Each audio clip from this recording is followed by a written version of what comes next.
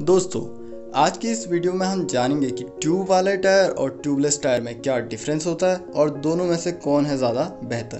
तो चलिए दोस्तों, शुरू करते हैं। दोस्तों, एक ट्यूब्ड टायर में जनरली एक रबड़ का टायर होता है, एक मेटेलिक रिम होती है और इनके बीच में लगी होती है पतली रबड़ की ट्यूब दोस्तों, इसी ट्यूब में हवा भरी जाती है और यही ट्यूब टायर को उसका आकार देती है।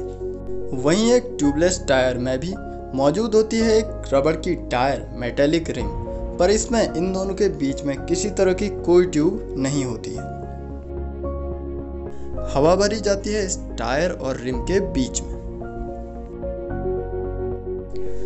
जब हवा को इस टायर में भरा जाता है तो ये रिम और टायर मिलकर बनाते हैं एक एयर टाइट लॉक जिससे हवा टायर के बाहर नहीं निकल पाती। दोस्तों, आप सभी ये ज़रूर जानते ही होंगे कि टायर्स का सबसे बड़ा दुश्मन होता है पंक्चर।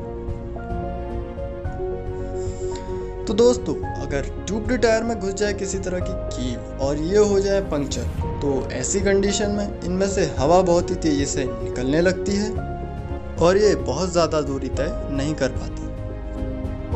वहीं एक ट्यूबलेस टायर पंक्चर होने के बाद भी आसानी से कई किलोमीटर तक की दूरी को तय कर सकता है।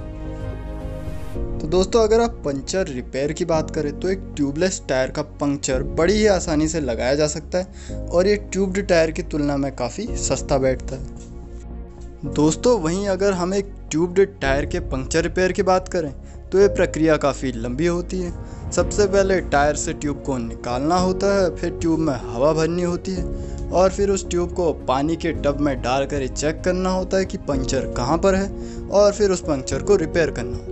ये प्रक्रिया काफ़ी लंबी होती है और ट्यूबलेस टायर के रिपेयर की तुलना में थोड़ी ज़्यादा खर्चीली भी। दोस्तों, ट्यूबलेस टायर्स में ट्यूब ना होने की वजह से इनका वज़न ट्यूब वाले टायरों से कुछ कम होता है, जिसका सीधा असर गाड़ी की माइलेज पर दिखता है।